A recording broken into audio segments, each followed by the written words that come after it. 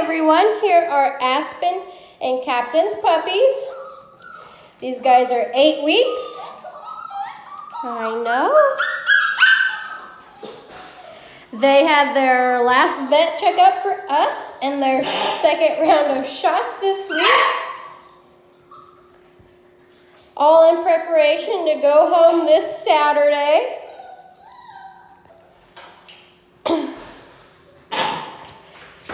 They aren't the biggest fan of their collars, so we're going to leave them on this week to give them a week's of preparation to get a little more used to them before they go home.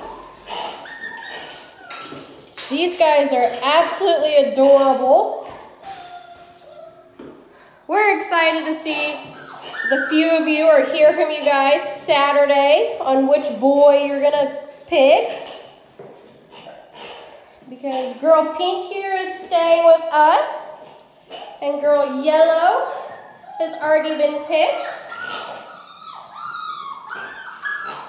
Here's boy green. They love this pig.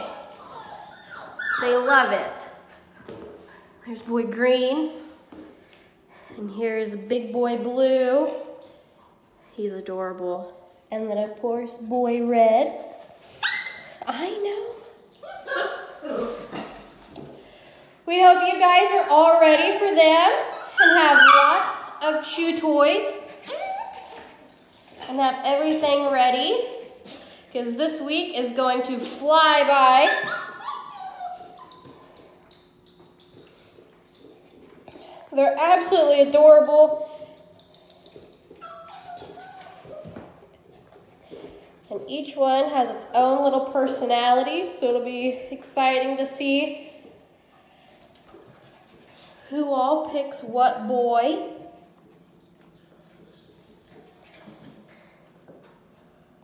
Boy blue, boy red, boy green, girl yellow. She's way over there.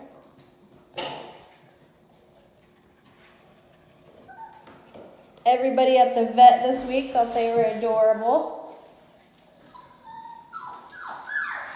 Girl Yellow was the smallest. She weighed like six pounds, I think.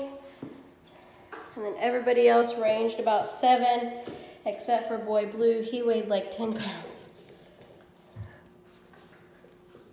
But everybody is doing great, and they are all super excited, even though they don't know